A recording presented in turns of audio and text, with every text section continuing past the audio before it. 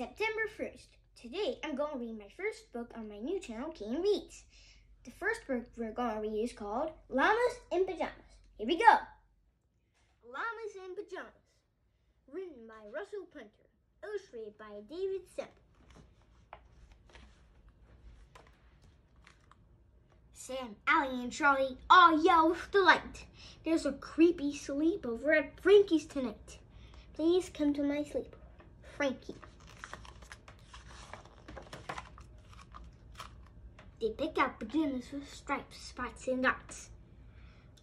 With their packs on their backs, after Frankie stayed trot.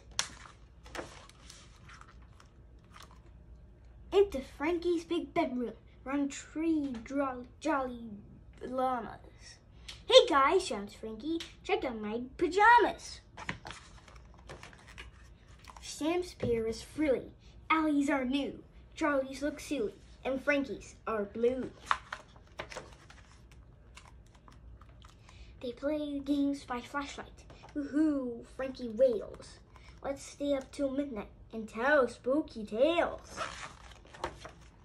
They whisper of spirits that shiver and shake and quivering monsters until it's so late.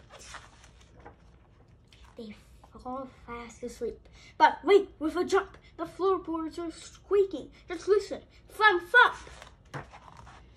A beastie is coming. He's hunting the hall. Take cover, comes Frankie, or he will eat us all.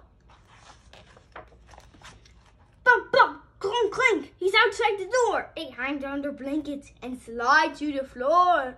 Creak goes the door. It opens a crack in the creaks. Frankie grandma with a midnight snack. The end. Hi, kids. Did you like llamas in pajamas? Well, I sure did. What was your favorite part? Well, my favorite part was when they were jumping out of their beds, they thought a monster was coming, but it was just Frankie's grandma. So, like, subscribe, and hit the bell, and you need to comment down below for more book requests. Thank you. Bye bye.